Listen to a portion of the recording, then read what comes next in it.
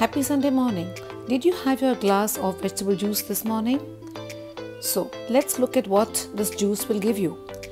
To make this beet ash-gourd juice, we've taken ash-gourd, beetroot, ginger, amla, and mint.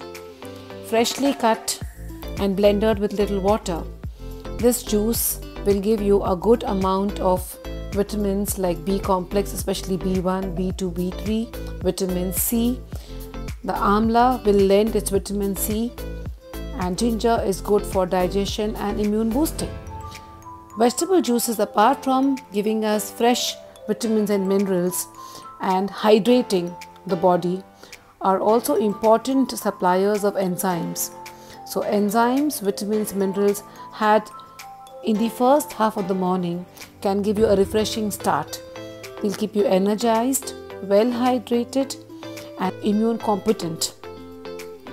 Beetroot gives you a good amount of the pigment anthocyanin, which is known for its cancer protective and anti aging properties.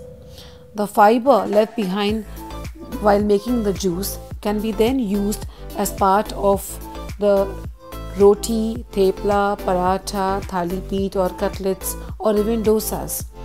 So as somebody has well said in the past, aam to aam, gutli ke bidam. Enjoy the juice with all its freshness of vitamins, minerals, antioxidants and hydration power and try different juices every day. This is ash-gourd beet mint amla and ginger. You could try something like tomatoes with say oranges, some amount of coriander and ginger. Stay updated for new updates on nutrition each week.